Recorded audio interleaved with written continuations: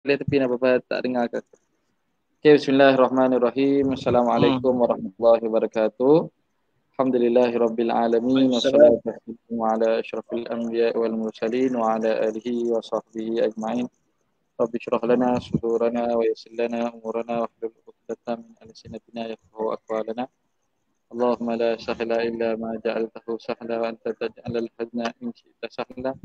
اللهم اجعل جمعنا هذا جمع المرحومة تفرقنا بعده تفرق معصومة um, uh, kepada penonton uh, pustaka pemata ummah di luar sana yang uh, baru saja selesai laksanakan solat sunat tarawih boleh pakat-pakat masuk dan komenlah di ruangan komen sekiranya clear atau tidak uh, nyatakan sekali di mana uh, lokasi anda berada. Uh, kemudian uh, nyatakan clear atau tidak clear, nampak ke tak. Uh, takut-takut kita live uh, dalam tempoh sejam ni tak dengar apa-apa kan. Uh, live tengok muka ustaz je, tak kena lah. Jadi mohon kepada sahabat-sahabat pendengar, penonton di luar sana yang uh, sedang menonton boleh mohon komen sekiranya uh, dengar atau tidak bahasan ataupun suara uh, moderator pada malam ini. InsyaAllah malam ini kita akan sama-sama uh, mendengar uh, sesi bedah kitab kitab ini. Uh, kitab Islam Memimpin karangan Tuan Guru Datuk Seri Haji Abdul Hadi Awang merangkap uh, Presiden PAS dan Duta Khas ke Timur Tengah yang baru saja dilantik yang akan bersama kita pada malam ini uh, Abu Fadil Ustaz Najahan Halim merupakan Ketua Perangan Dewan Ulama Pusat. Uh, apa khabar Ustaz? Alhamdulillah bukan Ketua Perangan tu. ah, Alhamdulillah. Alhamdulillah. Okey. Uh, Arah. Uh, uh, kita bersyukur pada Allah kerana kita dapat meneruskan program pada Uh, malam ini uh, untuk sesi bedah kitab uh, Tuan Guru Haji Abdul Hadi Awang ni pada uh, buku yang uh, diterbitkan pada tahun yang lepas yang bertemakan Islam Memimpin. Islam Memimpin hmm. ni merupakan uh, tema utama yang uh, dua tahun lepas. Uh, dua tahun lepas uh, menggunakan tema ini yang mana yang mengangkat uh, suatu gagasan yang meletakkan Islam sebagai uh, teras dalam uh, pentadbiran dalam uh, setiap segmen lah ekonomi, politik, perundangan dan sebagainya. Jadi uh, untuk kita mengulas lebih lanjut apakah idea-idea yang dibawa oleh Tuan Guru, apakah um, signifikannya uh, idea Islam Mimpin ni khususnya dengan uh, terdirinya ataupun uh, terbentuknya kerajaan baru ini. Jadi kita akan dengar ulasan Al-Fadil Ustaz uh, dalam uh, tempoh insyaAllah uh, kurang lebih sejam lah uh, atas uh, Ustaz lah uh, berapa lama yang diperlukan untuk kita sama-sama dengar. Kemudian kita akan buka uh, sesi soal jawab lah bagi yang ingin bertanya soalan. Yang ingin bertanya soalan boleh terus uh, uh, letakkan di ruang komen lah. Tapi sekarang ni macam pelik lah terus tanya kan. Terdengar Ustaz uh, bentang tu kan ada tak tak bersetuju ataupun uh, tak jelas ataupun ada soalan-soalan semasa boleh tanya. Uh, Ustaz Najahan ni, uh, Ustaz Najahan ni orang yang sesuai untuk ditanya lah. Uh, atas kepakaran dan uh, posisi beliau sendiri. InsyaAllah kita akan dengar. Jadi tanpa meninggalkan masa, uh, majlis dengan ini mempersilakan Fadul Ustaz untuk uh, sesi perbentangan uh, uh, bedah kitab Islam memimpin. Hal ya tafadhal masykurah. Assalamualaikum warahmatullahi taala wabarakatuh. Alhamdulillah. Wassalatu wassalamu ala Rasulillah wa ala alihi wa sahbihi wa man walah. Uh, Allahumma ya muqallibal qulub sabbit qulubana ala dinika wa ala ta'atik. Allahumma innaka 'afun tuhibbul 'afwa fa'fu 'anna. Amin ya rabbal alamin. Terima kasih uh, moderator saudara Muhammad Afiq. Apa khabar Muhammad Afiq? Sihat eh? Anak sihat. Alhamdulillah, Alhamdulillah uh, pada malam uh, pada malam ini kita dalam siri uh, membedah kitab Tuan Guru Presiden kita, Alhamdulillah, uh, yang mana kitab yang dipilih pada siri kali ini uh, diminta untuk saya membedah ataupun membincangkan uh, sedikit kupasan daripada kandungan yang ditulis oleh Tuan Guru Presiden yang dimuatkan dalam kitab yang bernama Islam Memimpin. Yang ada pada tangan saya ini ialah edisi yang kedua dan saya dipahamkan oleh ketua editor kita ada edisi yang ketiga yang kulitnya lebih baik. Dan edisi yang kedua dan cetakan yang uh, cetakan kedua pada 2019. Uh, yang adapun yang ada yang terbaru ni uh, Afiq tu yang terbaru lah. Ya ya ya, yang ni yang terbaru eh. Ha. Yang terbaru ha, itu yang ketiga. Ha, edisi yang ketiga tu terbaru. Alhamdulillah. Dan uh, menarik uh, kitab Islam Memimpin ni dia ambil tajuk daripada ucapan dasar Muktamar uh, PAS yang ke-64 yang dilakukan yang dilaksanakan di Kuala Terengganu pada 2018. Yang mana lontaran gagasan Islam memimpin ni ialah satu idea yang sangat hebat yang dilontarkan oleh Tuan Guru Presiden kita kepada seluruh ahli-ahli PAS yang merupakan tawaran PAS kepada uh, seluruh rakyat Malaysia. Uh, setelah uh, kita melalui pilihan raya uh, yang mana setelah pilihan raya itu uh, PAS mengemukakan idea gagasan untuk memberikan tawaran Islam memimpin kepada masyarakat Malaysia dan diminta oleh Tuan Guru Presiden PAS dalam muktamar yang ke-64 itu dalam 10 wasiat yang disebut dalam muktamar yang bertemakan Islam memimpin itu yang mana 10 wasiat amanat yang diberikan oleh Tuan Guru Presiden yang mengandungi 10 wasiat itu wasiat yang pertama ialah meminta semua pimpinan dan ahli PAS untuk menghadam tema dan konsep Islam memimpin. Dan ini menarik. Jadi lebih-lebih lagi kita sebagai pimpinan dan juga ke, uh, sebagai ahli PAS uh, seharusnya wajib ke atas kita untuk uh, mengambil satu nasihat dan juga amanat yang diberikan oleh Tuan Guru Presiden ini uh, di mana 10 amanat itu dan amanat yang pertama memastikan ahli dan seluruh pimpinan hadam betul-betul konsep Islam memimpin. Alhamdulillah yang mana menariknya konsep Islam memimpin ini walaupun pada permulaannya uh, satu perkara yang sangat uh, maknanya perkara baharu dalam masyarakat kita dalam dalam pemikiran masyarakat apalagi dalam pemikiran ahli-ahli PAS juga tetapi lama kelemahan ahli-ahli PAS dan seluruh masyarakat melihat kepentingan dan uh, kemaslahatan daripada konsep Islam memimpin ini yang ditawarkan oleh Tuan Guru Presiden PAS. Ini yang menarik. Apapun buku ini mengambil tema ini, mengambil tema ini sebagai tajuk dan judul buku. Yang mana nak memahami konsep Islam memimpin itu, hendaklah kita menyelusuri setiap artikel, ucapan dan tulisan yang telah dilakukan oleh Tuan Guru Presiden kita. Sama ada yang saya berjaya, saya baca sebanyak hampir 300-400 muka surat ini.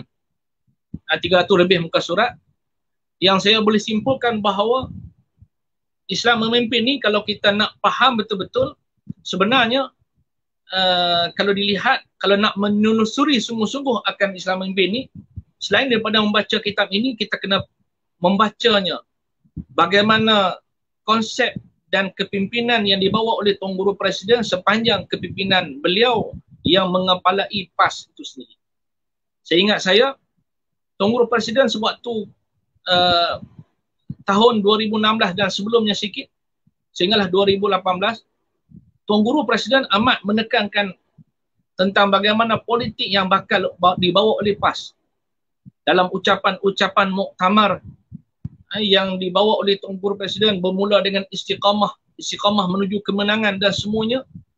Kalau kita dilihat dan teliti di sana ucapan-ucapan Tuan Guru Presiden dan tulisan-tulisan beliau uh, adalah satu tulisan yang uh, berkait rapat di antara satu sama lain seolah-olahnya merupakan anak tangga. Setiap tulisan itu merupakan anak tangga di antara anak tangga yang banyak yang perlu dilangkah oleh setiap ahli kita untuk mencapai matlamat yang ingin kita capai. Kan? Bermula dengan istiqamah, istiqamah hingga kemenangan.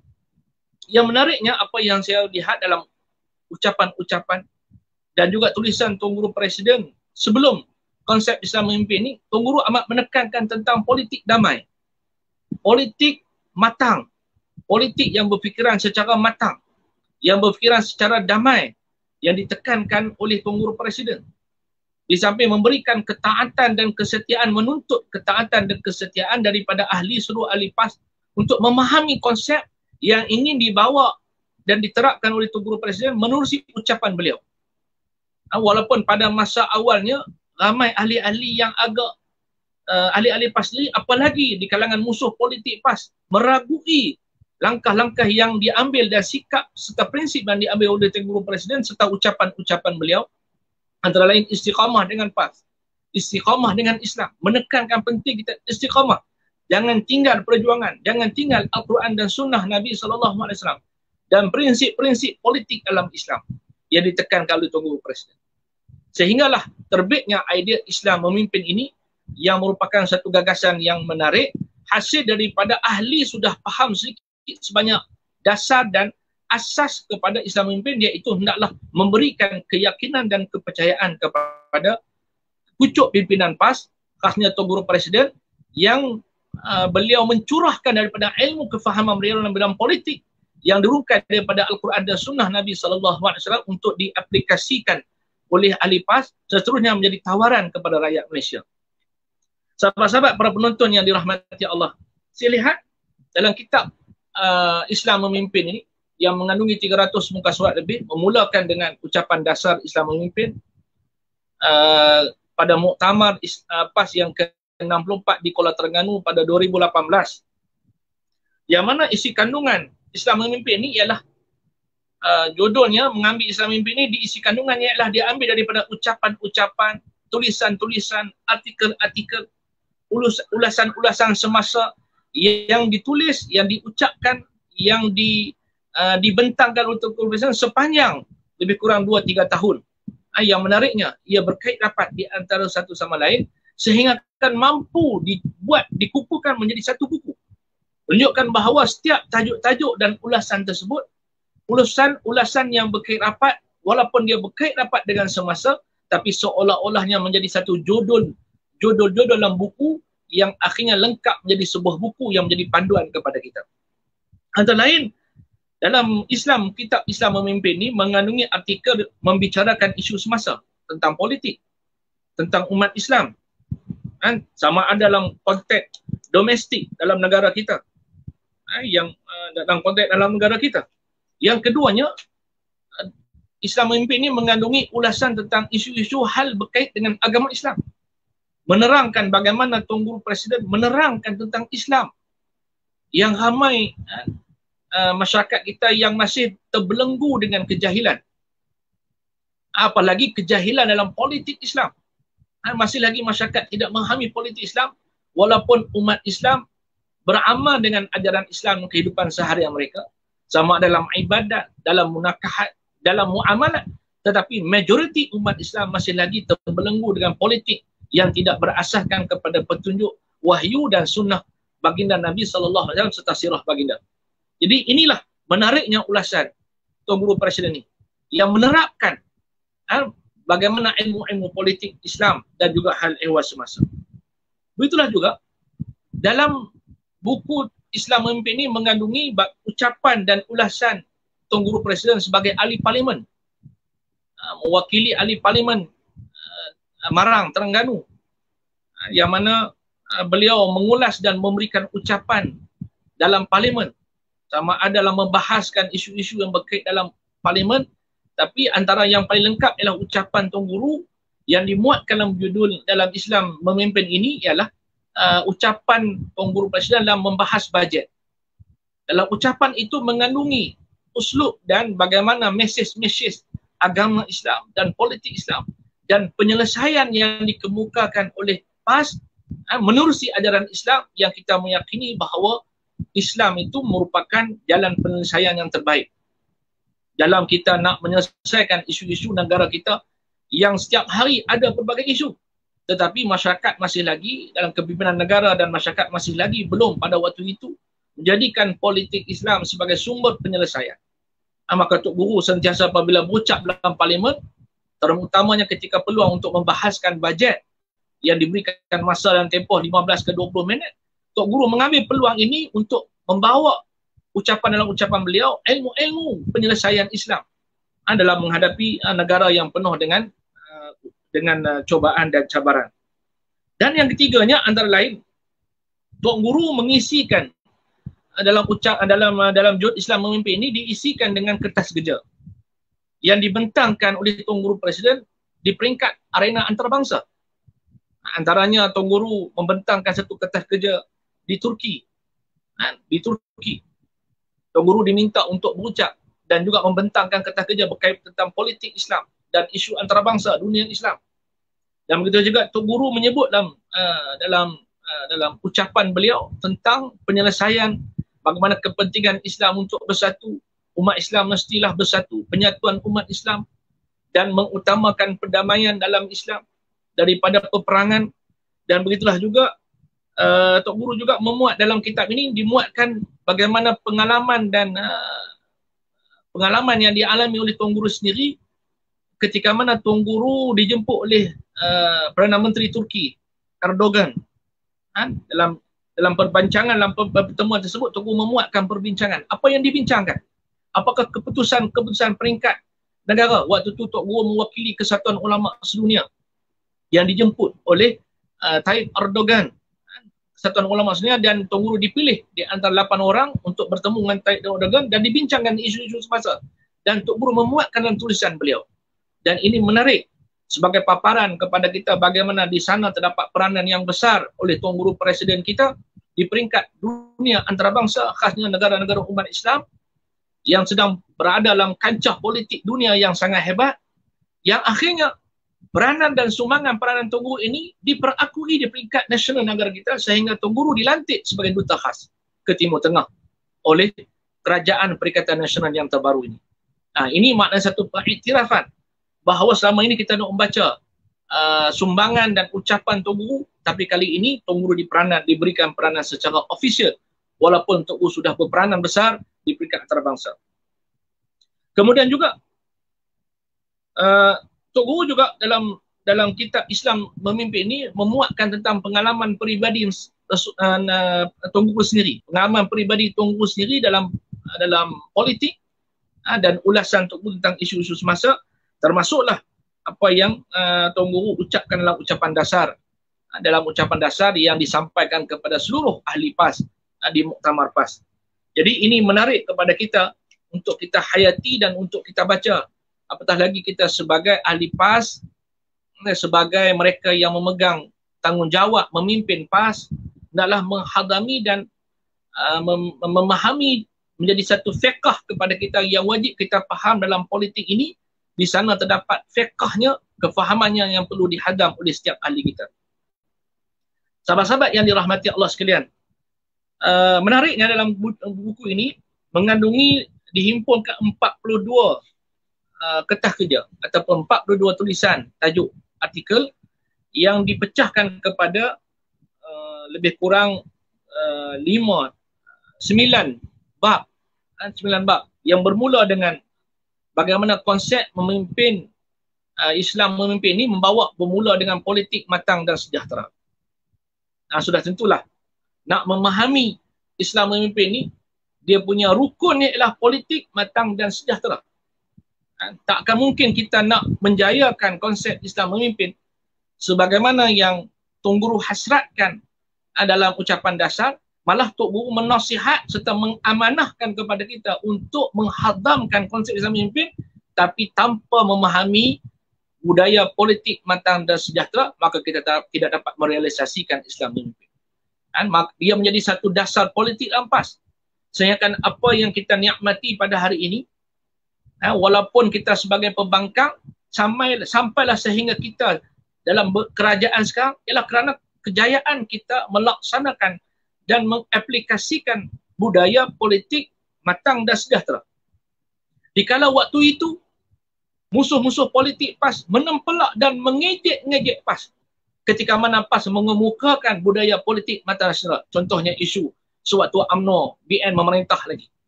Waktu itu PH bukan main hebat. Di arena politik bercakap uh, menghimpunkan ribuan manusia. Ketika PAS, uh, ketika masyarakat rakyat Malaysia dihidangkan dengan isu tabung haji waktu UMNO, BN sedang memerintah, PAS pergi berjumpa di tabung haji. PAS sendiri berjumpa dengan pengurusan tertinggi tabung haji kerana mengamalkan politik matan dan sejahtera untuk mendengar secara langsung penjelasan yang sebenar tentang isu tabung haji dengan tidak hanya mendengar daripada ucapan-ucapan yang berdegar-degar di alam media sos ataupun ceramah-ceramah umum. Maka kenapa? Kerana PAS mengambil sikap budaya politik matang dan sejahtera yang kita tidak menghentam daripada luar tanpa mendapat sumber maklumat yang lebih tepat ah, daripada mereka yang Uh, berkepentingan. Ini budaya yang lebih awal diamalkan oleh PAS. Yang akhirnya dengan sikap PAS mengamalkan politik matang dan sejahtera ini, budaya ini, akhirnya apabila kita berada dalam kerajaan, golongan yang bekerja di peringkat perkhidmatan awam, pegawai-pegawai kerajaan, kan tidak akan berdendam dengan sikap PAS. Tidak berdendam dengan sikap kita. Kerana kita turut akan menjadi kerajaan pada satu hari nanti dan Allah telah realisasikan hasrat PAS an hasrat umat Islam untuk pas berada dalam kerajaan. Dan pada waktu itu kita an akan menerima uh, layanan yang baik sikap yang baik balasan yang baik daripada mereka yang tidak kita hentam membabi buta tanpa kita mendapat maklumat yang tepat. Ini sikap budaya politik yang diamalkan. Malah ucapan titah yang di Pertuan Agong di persidangan pembukaan persidangan parlimen pada hari ini pun menekankan tentang bagaimana pentingnya tu, yang di Pertuan Agung menekankan pentingnya budaya politik matang yang akhirnya menjadi budaya yang mesti diamalkan oleh setiap ahli politik dalam negara kita termasuklah seluruh rakyat Malaysia.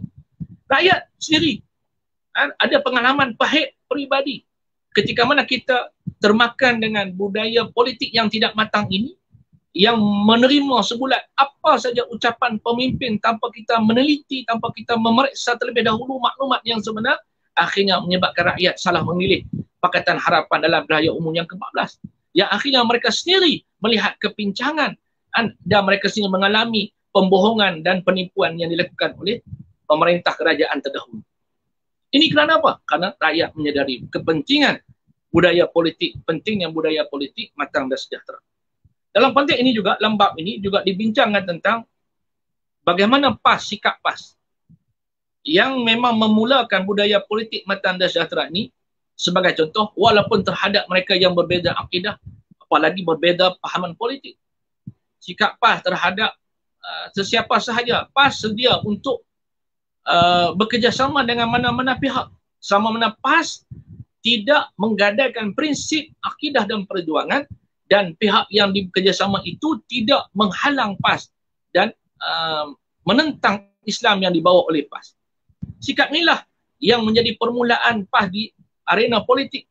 Sebagaimana Tuan Guru memuatkan dalam tulisan beliau, mengisahkan tentang penubuhan PAS. Menariknya, dalam ucapan-ucapan Tuan Guru pun disebut tentang hal ini. Termasuk dalam ucapan, termasuk dalam tulisan Tuan Guru Presiden, memuatkan tentang pengalaman PAS sendiri.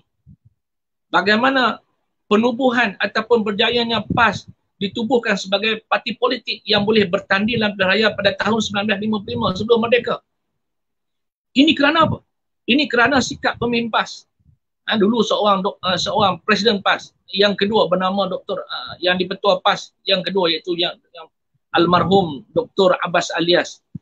Yang mana beliau ni seorang doktor pernah mengubat sakit uh, seorang warga India uh, mengubat sakit kerana beliau ni dijatuhkan hukuman oleh uh, kerajaan Jepun tapi berjaya diselamatkan.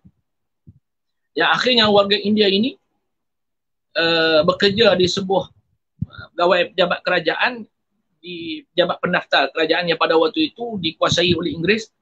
Ketika mana Datuk Abbas Aliyah ni pergi nak bawa borang mengisi borang untuk mendaftarkan PAS sebagai parti pertubuhan politik. Uh, kebetulan yang menjaga dalam bahagian pendaftaran pegawai pendaftar itu ialah India yang telah diselamatkan oleh Dr. Abbas Alias. Dengan sebab dia mengenang jasa Dr. Abbas Alias yang pernah menyelamatkan nyawanya ini, maka PAS berjaya didaftarkan sebagai pertubuhan politik ataupun parti politik yang boleh bertanding dalam budaya secara sah. Ini budaya politik matang yang diamalkan oleh PAS, diamalkan oleh pimpinan PAS yang berasaskan kepada ajaran Islam yang tidak memusuhi sesiapa. Selama mana mereka tidak menentang Islam, selama mana kita tidak menggadaikan prinsip akidah dan perjuangan yang dibawa oleh PAS. Inilah kena kita kena faham bagaimana politik damai ini politik yang menjadi keutamaan PAS. Kalau tidak PAS mengutamakan politik damai sudah tentulah PAS tidak berkecimpung dalam bidang politik. Sudah tentulah akan memiliki jalan keganasan, jalan yang menggunakan senjata dan kekerasan. Tetapi kerana PAS memahami konsep politik matang dan sejahtera lebih awal. Walaupun tidak di, ditadwinkan pada waktu itu, tapi amalan politik pimpinan PAS daripada sejak dahulu merupakan politik matang dan sejahtera yang menjadi amalan ha, mereka. Dan begitulah juga dalam bab yang seterusnya menyebut tentang memimpin perubahan negara. Setelah kita memahami konsep politik matang budaya politik matang nasional ini, maka kita mengambil langkah untuk membawa perubahan negara. Sebab itulah di antara roadmap uh, PAS sebagaimana disebut dalam uh, muktamar yang ke-64 pada di Kuala Terengganu uh, dua tahun yang lalu Tuan Guru menyebut bahawa di antara roadmap PAS, roadmap PAS menuju pilihan raya ke-15.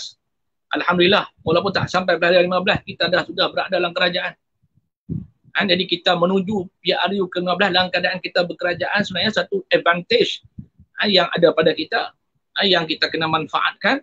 Dan Alhamdulillah, walaupun di sana terdapat roadmap PAS, roadmap PRU ke-15, di antara roadmap PRU ke-15 ialah Islam memimpin perubahan Islam memimpin perubahan dan juga uh, dan perpaduan negara. Islam memimpin perubahan dan perpaduan negara. Kita nak bawa negara ini bersatu, bersatu dalam konsep Malaysia ini adalah memahami keadaan situasi negara kita dalam masa yang sama Islam itu memimpin penyatuan umat dan penyatuan uh, umat tanah negara kita ni, tanah air negara kita. Jadi asasnya ialah Islam walaupun kita hidup berbilang kaum agama, berhilang budaya dan latar belakang, tetapi PAS ingin membawa negara ini bersatu dan berubah dan serta melakukan perubahan dan bersatu perpadu dalam konteks apa yang dinaungi sebagai ajaran Islam yang boleh menyelamatkan kepada semua. Dan sebagaimana kita uh, kerisauan kita terhadap uh, pemerintahan kerajaan yang lalu, Pakatan Harapan, apabila ada cobaan untuk menyerap mengiktiraf uh, komunisme dan sebut dalam tulisannya dalam buku ini menyebut bahawa bahaya komunisme ni daripada penjajah barat penjajah barat masih apabila dia menjajah masih lagi mengiktiraf agama walaupun sebahagian ajaran agama dan sebahagian yang besar mereka tidak mahu diamalkan secara total tetapi masih mengiktiraf agama berbanding dengan komunis komunis langsung menolak agama. Lebih bahaya daripada penjajah. Ini disebut oleh Tunggul Presiden. Sewaktu Pakatan Harapan memerintah, di sana ada bibit-bibit untuk mengembalikan semula uh, komunisme. Malah usaha, terdapat usaha. Walaupun tak sampai, tidak sampai hasrat tersebut, ada usaha untuk mengiktiraf komunis sebagai pejuang kemerdekaan. Maka Tok Guru sebut bahawa komunisme bukan pejuang kemerdekaan kerana mereka tidak mengiktiraf agama dan agama bukan dalam diri dan pemahaman mereka. Itulah juga uh, sepanjang pemerintahan Pakatan Harapan itu, Tuan Guru ada memuatkan tentang tulisan beliau menyebut tentang kegagalan uh, mengiktiraf dan memperakui statut Rome dan kegagalan uh, berjaya kita membatalkan ISA uh, dengan yang berhimpun ramai-ramai. Dan ini di antara usaha-usaha bagaimana uh, kerajaan dahulu berusaha untuk nak menjadikan agama Islami agama yang tidak berfungsi. Malah agama itu sekadar nama dan agama itu sekadar tempelan dan label yang ada pada perlembagaan tetapi tidak ada peranan dan fungsi. Maka bagaimana nak mengubah, nak menjadikan sebuah negara yang berpadu apalagi terdapat pemikiran yang bercampur, bercampur bau. Pemikiran komunisme dicampur campur bersama, liberalisme yang dicampur bersama dimuat dalam Togo sebut dalam hal ini dalam buku judul Islam memimpin ini Begitulah juga komunisme, sosialisme pun turut untuk berebut dalam untuk memastikan idea mereka ini bertapak dalam negara kita. dengan melupakan konsep Islam perlembagaan yang telah dimeterikan dalam perlembagaan negara kita. Anda sebelum merdeka terdahulu. Ah, waktu merdeka. Begitulah juga dalam konteks kita nak memimpin perubahan ini. Tok Guru ada memuatkan tulisan mengenai uh, rahmatan lil alamin. Dan juga bertadarus dalam melaksanakan Islam. Di samping menolak fahaman-fahaman yang boleh merungkai dan merosakkan Islam. Seperti LGBT, Islamofobia, ini kekangan-kekangan termasuklah jihadofobia yang menjadi tulisan Tok Guru Presiden untuk menyedarkan masyarakat bagaimana inilah usaha-usaha sebahagian uh, masyarakat kita ada yang Islamnya tetapi terpengaruh dengan idea barat ada yang ingin mencedok idea barat sepenuhnya dengan menolak Islam ada yang dimasukkan dengan fahaman-fahaman yang merosakkan liberalisme dan sebagainya ini semua ialah usaha-usaha untuk menggagalkan perubahan negara dengan Islam maka Tuan Guru Presiden memuatkan dalam kitab ini dalam tulisan beliau tentang bagaimana kita perlu membetulkan konsep rahmatan lil alamin. Kan? Bukan rahmatan lil alamin itu menafikan syariat Allah Subhanahu wa taala. Bukan dengan menafikan syariat Allah. Tidak kerana kita bersifat Islam itu rahmat dan pengasih lalu kita menafikan hukum Allah Subhanahu wa taala. Sebab itu terdapat usaha dalam Pakatan Harapan dulu untuk menghapuskan hukuman bunuh. Menghapuskan undang-undang hukuman bunuh yang terpengaruh daripada idea kefahaman daripada dicedok daripada barat. Ini diingatkan oleh Tuan Guru Presiden. Kan? Maka sebab itulah diperbetulkan fahaman ini kan, kepada kita menerusi tulisan Tuan Guru Presiden.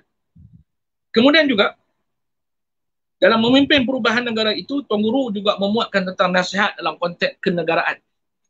Sebagai contoh, tulisan Tuan Guru menyebut tentang konsep federalisme yang perlu dipahami dan dihadami oleh seluruh uh, pemimpin negara kita dan juga rakyat Malaysia dalam konsep federalisme ini dua kertas uh, dua tajuk yang dimuatkan iaitu pertama penjelasan tentang tulisan tentang uh, pilihan raya PBT yang ditentang oleh PAS yang sangat dituntut yang sangat diperjuangkan sekuat-kuatnya oleh DAP.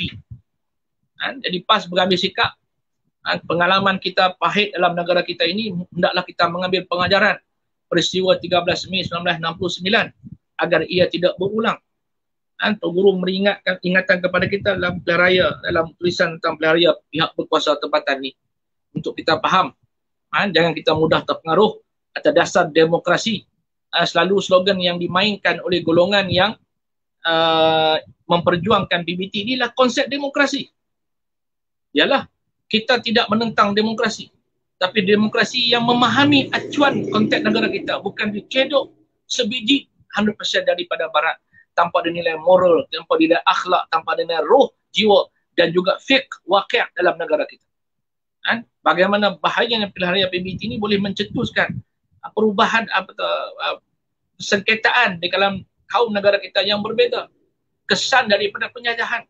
Apabila orang Melayu Islam banyaknya majoritinya dikekalkan di kawasan kampung-kampung dan pedalaman termasuklah bumi putra. Adapun golongan India uh, dibuat oleh penjajah berada hanya kekal di estate.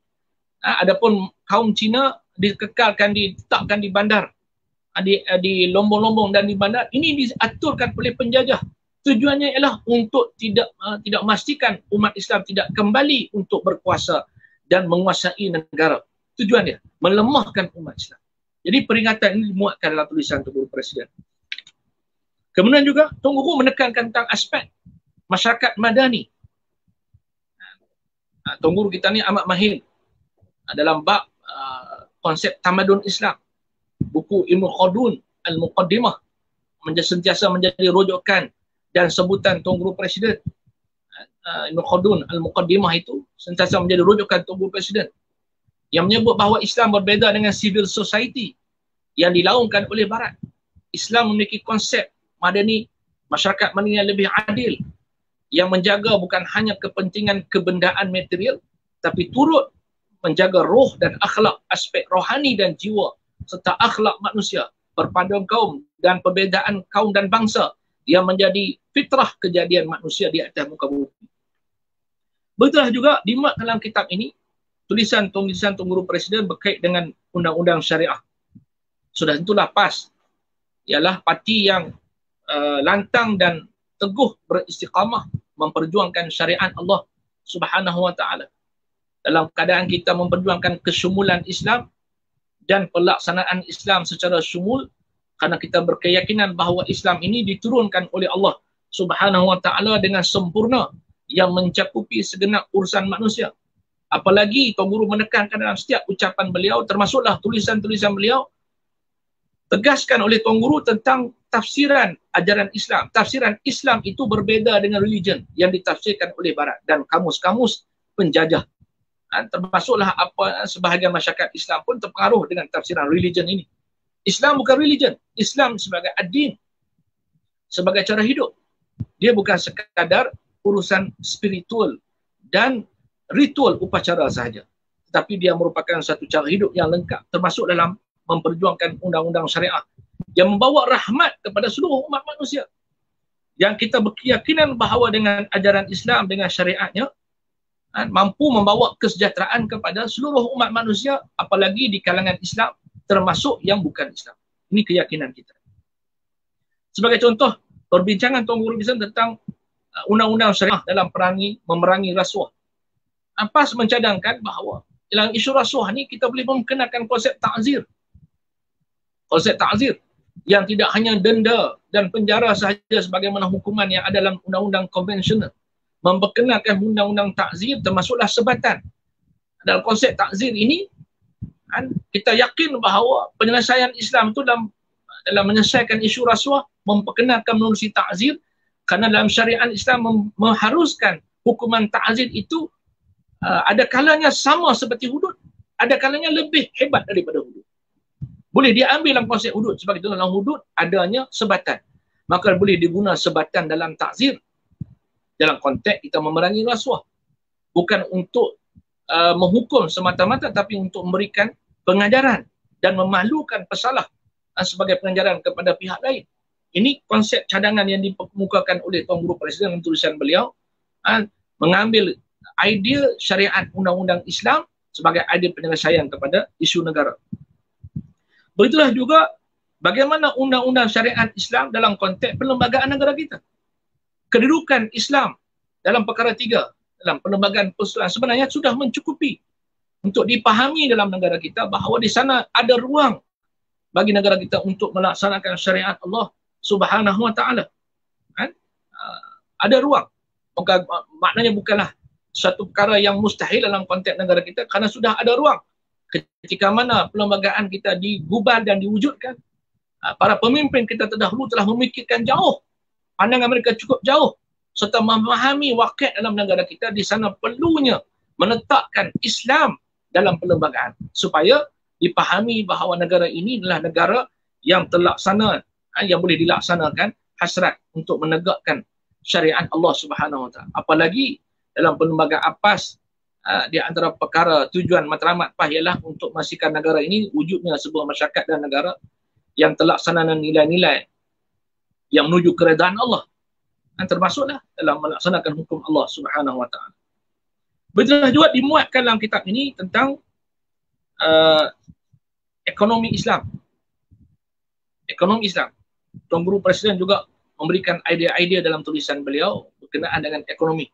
PAS Uh, mengemukakan idea ekonomi ini menerusi menerusi uh, gagasan kita uh, uh, buku hijau sebagai contoh kan uh, sebagai contoh kemudian uh, wawasan induk negara sejahtera ini semuanya ada idea yang baik daripada PAS dalam konteks uh, untuk uh, memastikan ekonomi ini selari dengan kehendak petunjuk Allah Subhanahu wa taala.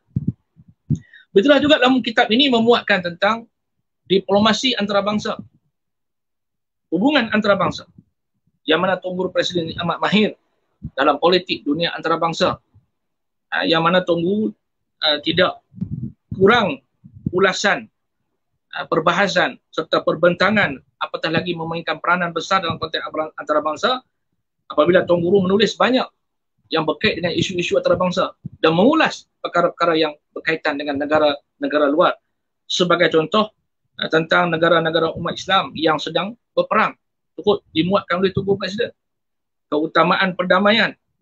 Bagaimana sikap masyarakat Arab kan, yang terpengaruh dengan barat sebagai contoh kemudian isu Israel dan juga isu yang dimuatkan tulisan Tuan Guru ialah contoh-contohnya pembunuhan Jamal Khashoggi seorang wartawan Arab Saudi yang dibunuh betul juga tentang uh, isu-isu di Indonesia, di Kashmir, Pakistan dan India dan sebagainya. Ini adalah di antara ulasan-ulasan Tuan Presiden yang berkait dengan isu antarabangsa yang perlu kita faham ha, sebagaimana disebut oleh sebahagian pimpinan kita. Kalau kita nak mahir dalam politik ni, kena mahir politik antarabangsa. Ha, kerana politik antarabangsa ni tak lari dan kita politik negara kita ni takkan lari daripada politik, kesan daripada politik antarabangsa. Sikit sebanyak apa yang berlaku dalam negara kita, apa yang bakal berlaku, apa yang dicorakkan dalam negara kita ni ada kesan kepada dunia antarabangsa, begitulah juga apa yang berlaku di dunia antarabangsa juga memberi kesan kepada negara kita. Maka penting uh, untuk kita sebagai ahli PAS, sebagai rakyat Malaysia, sebagai cendekiawan, sebagai ilmuwan uh, untuk kita turut uh, up to date uh, dengan isu-isu antarabangsa dan memahami pergolakan politik dunia luar selain daripada negara kita. Kemudian yang terakhirnya dimuatkan bab yang ketiga menyebut tentang sokongan rakyat. Bagaimana Tuan Guru memuatkan tulisan berkait dengan Islam dalam masyarakat majmuk untuk mendapat sokongan rakyat. Ya, kerana kita memahami konsep Islam yang bersifat rahmatan lil alamin dengan sebenar dan melihat menulis sejarah negara kita. Bagaimana Islam sampai ke tanah Melayu disebut oleh Tuan Guru Presiden, Islam sampai ke tanah Melayu dengan jalan damai yang tidak berbeza sebagaimana penjajah sampai ke tanah Melayu dengan cara peperangan dan pembunuhan. Dakwah Islam sampai masuk ke dalam hati-hati masyarakat dalam negara kita ini dengan cara aman dengan dakwah maka ialah untuk menyelamatkan seramai-ramainya manusia dengan Islam. Menyelamatkan seramai-ramainya manusia menuju syurga Allah Subhanahu Wa Taala. Maka sebab itulah Islam itu agama yang membawa kedamaian. Maka dalam sejarah Islam setiap Islam membuka negara tidak disebut dengan penaklukan tapi disebut dengan futuhat dengan pembukaan. Dengan pembukaan. Ini menunjukkan bahawa bagaimana Islam itu sampai ke hati manusia bukan dengan cara paksa, bukan dengan cara memeras mereka, apatah lagi dengan mengugut dan membunuh mereka, tapi dengan membuka hati manusia dengan Islam.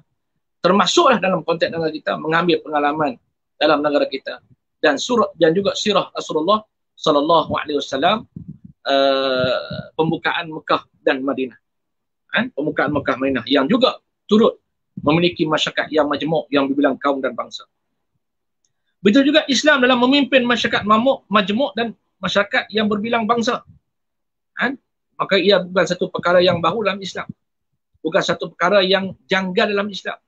Maka Islam itu agama yang memang disesuaikan oleh Allah Ta'ala dengan fitrah manusia. Tidak kira mereka yang berwarna kulit yang berbeza, kaum yang berbeza, latar belakang yang berbeza. Dan inilah ha, di antara uh, tulisan-tulisan Tugu Presiden yang penting untuk kita faham penting untuk kita hadam bersama bacalah ha, jadi ahli pas yang membaca. Ha, jadi ahli pas yang berilmu dan fiqah. Ha, sebagaimana Tuan Guru sebut juga bahawa politik ini ada fiqahnya. Ha, kita nak memahami Islam yang memimpin perubahan menusi politik yang dipelopori oleh kita oleh PAS ni maka ahli-ahli PAS perlu memiliki fiqah politik. Pemahaman dalam politik. Pemahaman dalam Islam. Ajaran Islam. Yang tidak hanya bergantung pada fiqhul awraq. Ha, untuk sebut tak boleh kita mahir dalam kitab, mahir dengan ilmu kitab. Tapi kena mahir dalam ilmu waqah. Ilmu-ilmu yang lain, fiqh-fiqh yang lain. Uh, fiqh yang begitu luas dalam Islam. Ha, penting sangat kepada kita untuk sama-sama untuk kita membaca, banyakkan pembacaan, mengambil ruang ada kita berada di rumah kita ni uh, sepanjang PKP, sepanjang Ramadan, uh, gunakan peluang sama-sama kita untuk menghadamkan buku tulisan para pimpinan kita elok sangat untuk kita jadikan sebagai rojokan. Jadikan sebagai rojokan, jadikan sebagai silibus atau bincangan dalam usrah.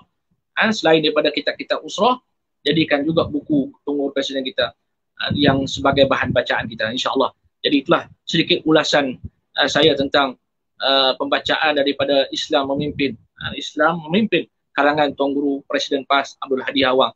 Mudah-mudahan kita semua uh, mengambil faedah dan juga adanya kesedaran untuk semangat dan teringin membaca. Jadikan dia sebagai budaya kita insya-Allah. Wallahu a'lam. Terima kasih. Uh, kembali kepada Muhammad Afiq. Okey, terima kasih diucapkan kepada Al-Fadhil Ustaz Najahan Halim uh, selaku kita punya jemputan, panel jemputan pada hari ini uh, merangkap ketua peng- pengarah pilihan raya, saya silap tadi, pengarah pilihan raya Dewan Ulama Pas, uh, Pusat dan juga ketua uh, pengarah Jabatan Dakwah Pas Pusat dan kita mengharapkan uh, sekiranya anda mempunyai soalan boleh letakkan ataupun tulis di bahagian komen. Uh, saya kira Oi, ustaz dah hilang tu ni. Jadi uh, kita menunggu sebentar takut ustaz ada uh, uh, masalah teknikal. Kita sangat sangat beruntung atas kehadiran uh, kesediaan pada Ustaz Najhan bersama kita pada malam ini uh, kerana perbahasan yang cukup saya kira tuntas daripada permulaan bab sehingga ke pengakhiran bab uh, dengan cuba diringkaskan poin-poin yang penting. Uh, antara yang menarik yang disebutkan dibahaskan oleh Ustaz bagaimana uh, Tuan Guru cuba untuk rephrase ataupun memberi makna yang sebenar terhadap kataan rahmatan lil alamin memberi gambaran bagaimana uh, cara Islam yang memimpin itu menjadi rahmat kepada sekian sekian alam. Uh, kita tunggu sebentar untuk uh, saya menghubungi Ustaz bagi uh, menjawab persoalan-persoalan yang yang ada. Uh, Okey, cuba menghubungi Ustaz dulu kerana Ustaz dah keluar.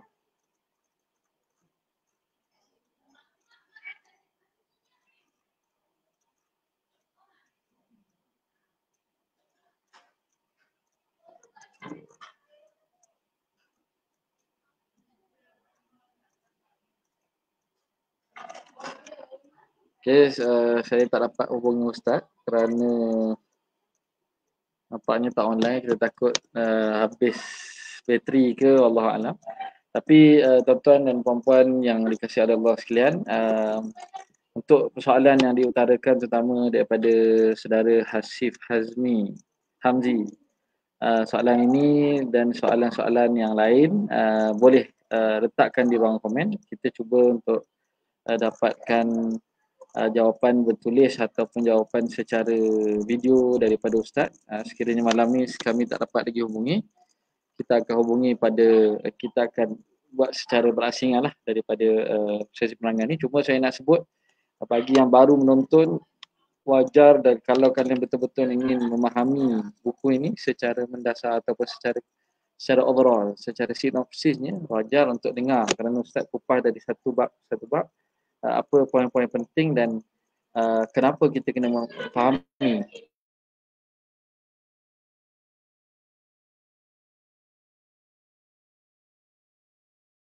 Uh, berada dalam talian. Uh, Ustaz dah berada dalam talian. Kita cuba hubungi Ustaz untuk menjawab soalan yang ada. Uh, tunggu sebentar. Tunggu penonton harap menunggu untuk mendengar jawapan.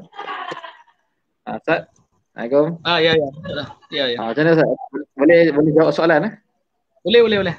Ada soalan penonton. Ada satu soalan penonton untuk uh, Ustaz. Soalan daripada saudara Hasif Hamzi. Ya ya. Uh, adakah pelaksanaan hukum hudud boleh dilaksanakan di Malaysia? Uh, dengan cabaran oh. kaum dan agama yang ada, adakah uh, penghudud ni termasuk dalam hala tujuh pas sekiranya memenangi PRU akan datang? Soalan ni baik, baik.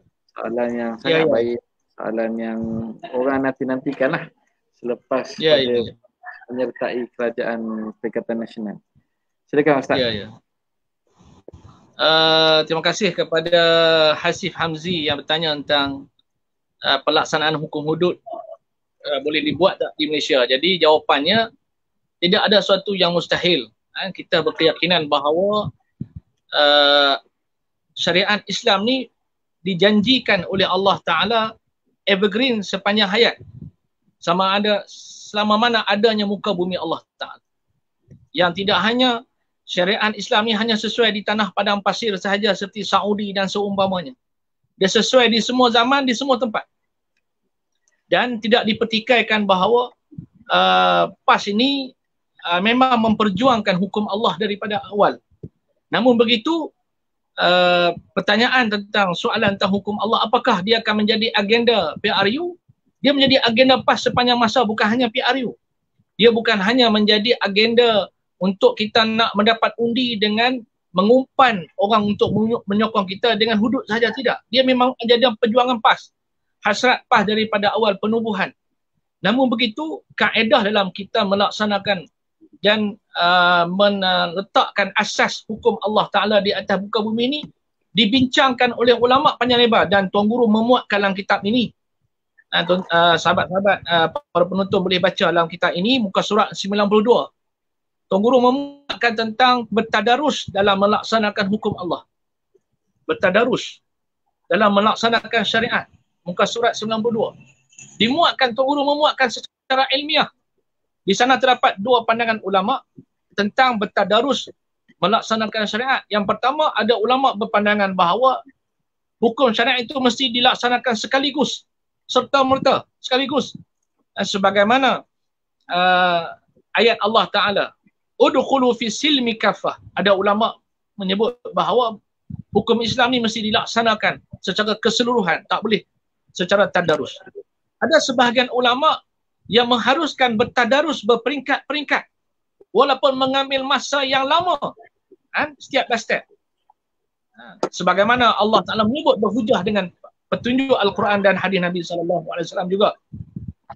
An fattaqullah hamastata'tum Allah Taala sebut adalah kamu bertakwa kepada Allah dengan kadar kemampuan kamu. Sebagaimana hadis Rasulullah sallallahu alaihi wasallam, "Ma amartukum ma amartukum anhu fa'tu minhu mastata'tum." Apa yang aku perintah kata Rasulullah kepada kamu, adalah kamu tunaikan dengan kadar kemampuan kamu, yakni mengambil hujah bertadarus, yakni berperingkat-peringkat.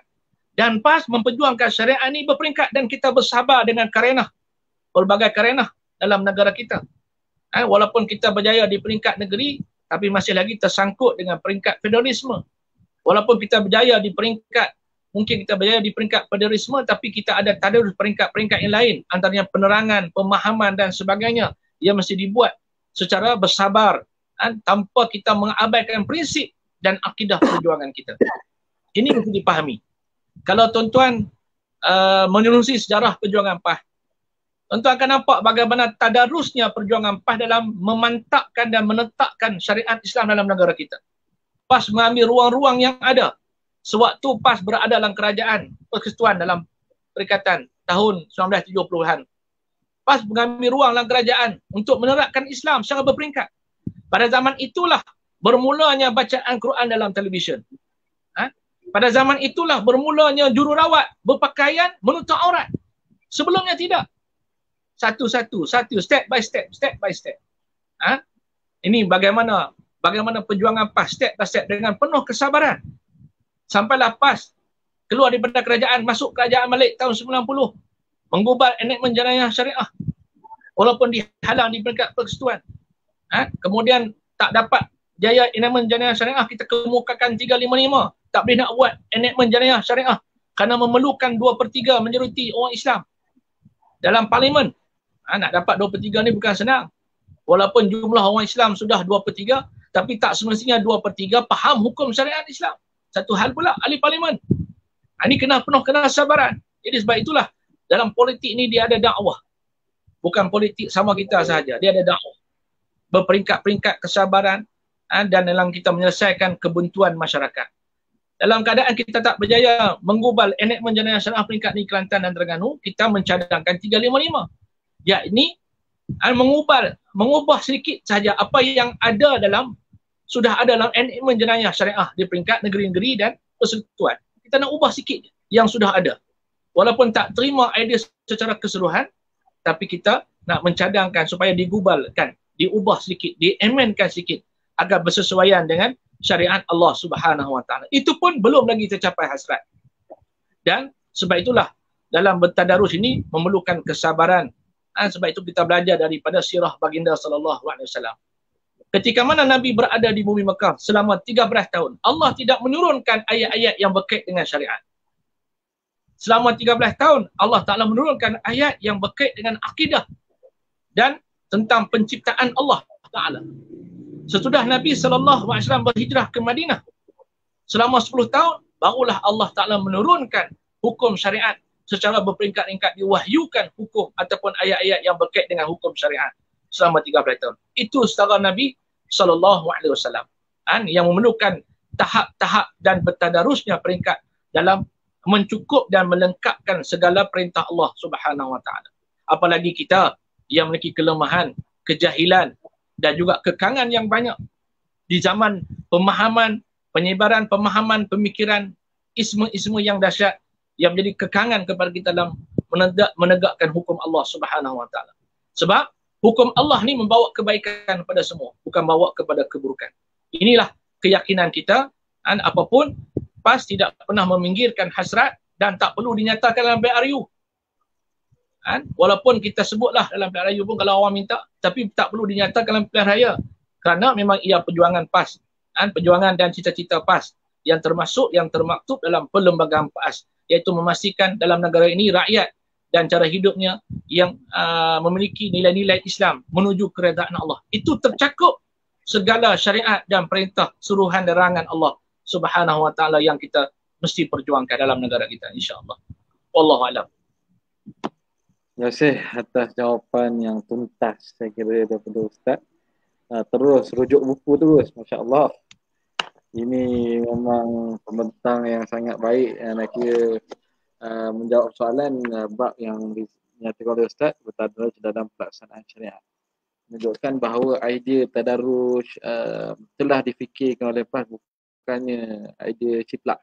Uh, bukannya idea uh, sebagai alasan uh, katalah uh, PAS bagi kerajaan baru fikir cakap tentang tadarus tak memang dah cakap lama dah dah termaktub buku ni sebelum dah jadi kerajaan ni jadi hmm, uh, yeah. sangat-sangat baguslah uh, untuk dipahami supaya kita faham dulu sebelum kita menyokong dan bertindak lah ada satu soalan Ustaz. soalan ni soalan cepu mas uh, ah. uh, apa adakah ikram menyertai atau menyokong perjuangan PAS Nak tanya Ikram lah, tak tanya Ana. Itu betul lah. Itu kena tanya. Tanya kita. Ah, kena tanya orang yang bernama Ikram. Ah, okay, uh, Tuan Saudara Najmi boleh uh, tanyalah.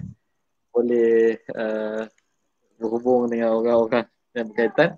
Kerana di peringkat PAS kita terbuka lah. Uh, tahu saya memang uh, PAS terbuka untuk sesiapa saja untuk menyertai asalkan menyertai dengan meletakkan walak kepada jemaah yeah. lah. Ha, tak boleh dua yeah. walak pula. Jadi, ya, ya. Kita dalam konteks itu. Kita dalam konteks kerajaan ni kita kena engagement dengan semua rakyat. Ha, semua rakyat dalam konteks kerajaan. Apapun uh, semua pihak kita kena engage, apapun jangan sampai tergadai prinsip kita, jangan tergadai kepimpinan kita, walak dan kesetiaan kita. Tetap kepada uh, parti kita, kan? Parti PAS tapi dalam konteks hubungan rakyat kemanusiaan dengan semua pihak. Ini dalam konteks kerajaan. Okay, terima kasih uh, atas jawapan yang diberikan oleh Ustaz. Saya kira cukup sejam kita punya uh, diskusi buku pada malam ini. Uh, kalau ikut panjang lagi kita nak bincang ni. Ustaz ni memang uh, Aduh, antara diskusi yang sangat dalam saya. Uh, daripada awal bab sehingga akhir bab tu disentuh poin-poin yang sangat penting. Uh, jadi untuk penutup ni kita bagilah uh, ruang pada Ustaz dalam uh, beberapa minit untuk uh, buat kesimpulan uh, terhadap buku yang uh, dibahaskan pada malam ini iaitu uh, Kitab Islam Memimpin apakah yang uh, boleh kita pelajari uh, dari sudut uh, keseluruhan ataupun mengapa kita perlu membaca buku ini. Ha, nak misalkan soalan asas tu. Uh, dengan uh, penutup sekarang. Silakan Ustaz. Uh, muslimin dan muslimat, sahabat-sahabat para penonton yang dikasihi Allah sekalian, uh, ambillah peluang uh, sementara adanya Tuan Guru Presiden kita di sisi kita. Uh, baca buku beliau, uh, dekatkan kita hubungan kita dengan pimpinan kita, tanya soalan apa yang kita buntu. Uh, apalagi uh, uh, ilmu yang dicurahkan oleh Tuan Guru ini adalah merupakan satu fiqah fiqah politik semasa dan wakil dalam negara kita yang perlu sama-sama kita memilikinya dan menjadikan kita uh, ahli ataupun ahli pas dan orang Islam yang berilmu. Uh, berilmu ni sangat penting. Sementara uh, para ulama kita masih wujud sebab kita khawatir dengan hadis Rasulullah sallallahu alaihi wasallam inna Allah la yantazi'u yantazi'u ilman intiza'an yantazi'u minan nas. Inna Allah la yaqbidu ilman yantazi'u minan nas. Walakin yantazi'u biqabdi minal ulama. Wa innal ulama warasatul anbiya. Wa innal anbiya lam yuwarrisu dinara wala dirhaman. Wa innama warasul ilm faman akhadhahu akhadha bihazzin wafirin. Atau kama qala Rasulullah SAW Nabi bersabda Sesungguhnya Allah Ta'ala tidak akan menarik ilmu itu dengan ditariknya ilmu. Tetapi ditariknya ilmu dengan dimatikan para ulama. Ini yang kita sangat risau. Ha, baru ni kita kehilangan Dat- almarhum Tuan Guru Datuk Ismail Kamus. Kan? Seorang ulama yang ilmunya seolah seolah satu bidang laut. Apabila Allah matikan seorang ulama, maka seolahnya satu ilmu sebidang laut sudah diangkat oleh Allah Subhanahu Wa Taala. Ini ruginya kalau kita tidak mendalami ilmu-ilmu yang telah ditulis, yang telah diperturunkan, yang dimuatkan oleh Tuan Guru Presiden kita. Dan sebab itu Nabi SAW pesan kepada kita, Allah tak matikan ilmu tu kecuali dengan Allah matikan para ulama. Sesungguhnya ulama itu ialah pewaris para Nabi dan Nabi tidak mewariskan emas dan perak tetapi Nabi mewariskan uh, mewariskan ilmu dan barang siapa yang mengambilnya maka mereka lah orang yang beruntung. Itu kata Nabi SAW. Jadi kesempatan ini dan saya menyerulah ahli-ahli PAS bacalah, membanyakkan baca. Jadikan budaya membaca di kalangan kita. Kan? Menjadi budaya membaca dan juga mendalami ilmu-ilmu apatah lagi. Kan? Kita memiliki pemimpin-pemimpin yang dikagumi ilmunya kan? di peringkat antarabangsa. Maka ambillah peluang kita membaca dan memahami ilmu. Mudah-mudahan Allah Ta'ala memberikan keberkatan pada kita insyaAllah. Assalamualaikum warahmatullahi wabarakatuh.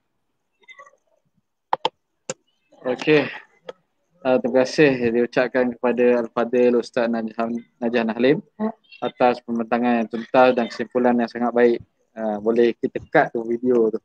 Dan menyebutkan sebab kadang-kadang kita kita bu, uh, buku ni sebenarnya untuk kita hadam idea-idea ataupun satu pemikiran yang sangat baik yang hmm. saya kira uh, sebagai satu permata ummah lah. Uh, ya, ya betul. Permata ni lah yang kita kena manfaatkan. Dan kita ucapkan terima kasih kepada Ustaz kerana kesudian untuk sama-sama pada oh, malam ini. Uh, kepada sahabat-sahabat di luar sana yang ingin mendapatkan kitab boleh uh, melayari uh, uh, link yang di bawah ini. Dan bagi yang ingin uh, mendengar diskusi-diskusi sebenarnya kita ada diskusi harian setiap petang jam tiga setengah petang. Uh, beberapa buku ada tujuh buku dibahaskan uh, setiap hari dengan uh, mendatangkan pendek-pendek anak muda lah. Uh, yang malam ni ulama-ulama lah. Yang tengah hari tu kita ambil pendek-pendek muda untuk kita bahaskan uh, secara diskusi lah. Uh, diskusi. Jadi uh, penonton yang dikasih Allah boleh uh, ulang tayang balik video ni untuk dengar uh, pengisian yang sangat menarik dan juga boleh ikuti sesi live seterusnya insyaAllah. Jadi kita rasa uh, itu saja program kita pada malam ni. Kita ucapkan terima kasih kepada Ustaz. Jazakumullah khair dan juga terima kasih kepada semua penonton yang sudi bersama-sama kita tangguhkan atas kafaran Subhanallah bihamdika. Wallahu a'lam. Wassalamualaikum warahmatullahi wabarakatuh.